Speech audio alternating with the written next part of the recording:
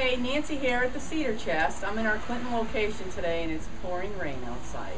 So I want to talk about some things you can wear at the beach. Even though it's not beachy today, it's still, you can still make it a beachy day.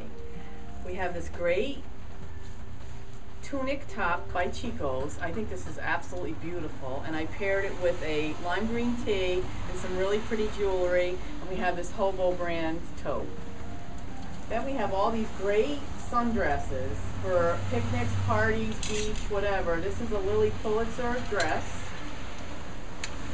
And then we have this pretty floral dress here by Ann Taylor.